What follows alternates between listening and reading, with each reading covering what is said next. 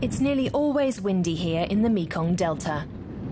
Local residents have knocked posts into the ground to break the waves here in the province of Soc Trang. At high tide, there's almost no stopping the water.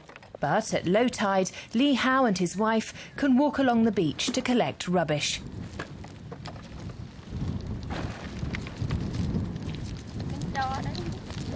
The coastline is virtually unprotected. Most of the trees and mangroves have long been chopped down. The soil is now being eroded away. High tide is at about 4 p.m., and we catch small fish and shellfish. But the water keeps getting closer.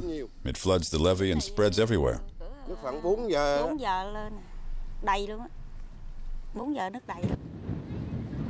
The tiny levee was built to protect Li Hao's low-lying village, but often it's the water that wins out. It's a case of too many people trying to live off an ever-shrinking patch of land. The intensive farming means the soil never has a chance to regenerate. Some families have fallen victim to the floods and lost everything.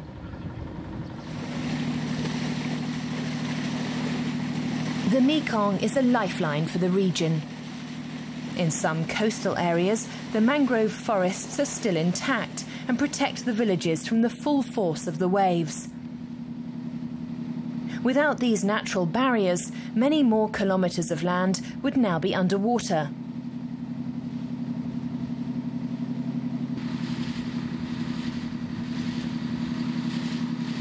If the water level rises by another metre, as experts predict for the coming decades, in Soc Trang alone, 450,000 people stand to lose their homes.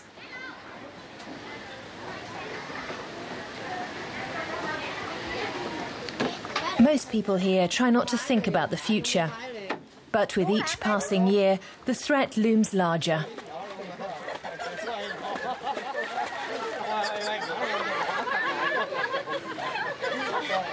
In September, the water often comes into our houses. Even though there are mangroves everywhere, there are not enough to hold back the tide.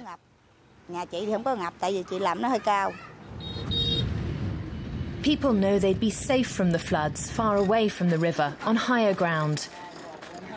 But here in the Delta is where the work is, and where they can feed their families. Many of the houses on the water's edge were built illegally. All are under immediate threat of rising seawaters resulting from climate change. Joachim Hofer from the German development organisation GTZ is calling for urgent action. The Mekong Delta, together with Bangladesh, is the region in Southeast Asia that will be worst hit by climate change. This is where the most land will be lost to the sea, and we can already see that farmland is becoming increasingly salinated. Rice can no longer be grown even 30 or 40 kilometers from the coast.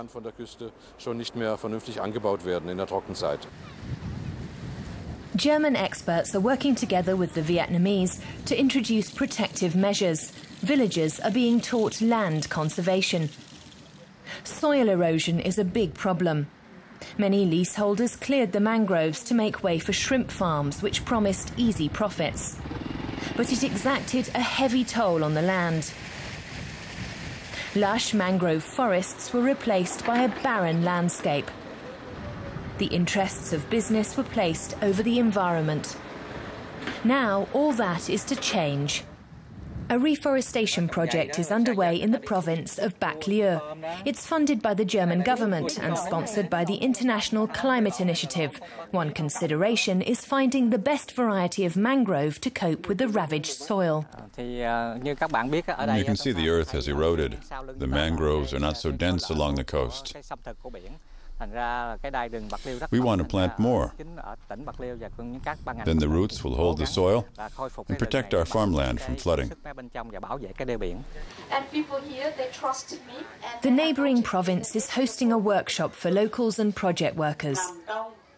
The focus is on how to protect the environment and hold back the sea.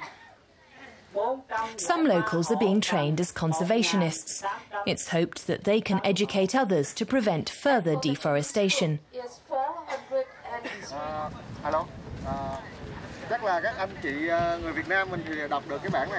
The reforestation is already well underway in some coastal areas, and a number have been declared nature reserves. Officials hope the trend will catch on.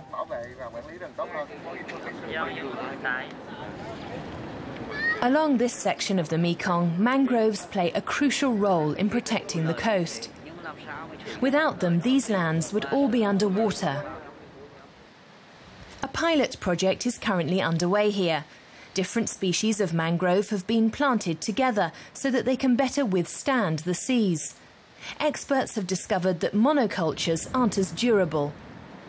In some areas, the coastline has been changed markedly over recent years.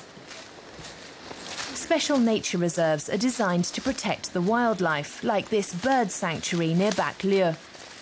Only project workers are allowed in here. There are 77 different bird species living on the 120 hectare park, but protecting them isn't easy. The noise of the water pumps from the shrimp farms is very loud. Also, the people who live in the area pay too little attention to conservation. So it's very difficult to preserve this here, even though it's very important for our climate. Climate change is an everyday reality here in the Mekong Delta, with rising sea levels, floods, and storms. The delta might be a relatively small part of Vietnam, but it plays a vital role in the Vietnamese economy. The government has acknowledged the problems and is now promising more environmental protection in the region.